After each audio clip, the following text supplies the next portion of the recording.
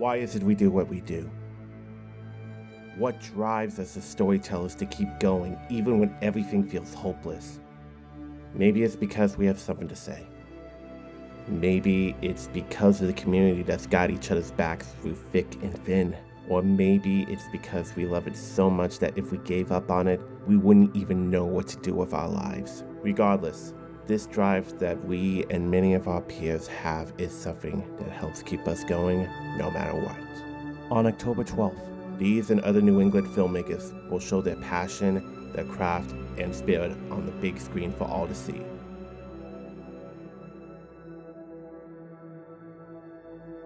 Tickets are on sale now.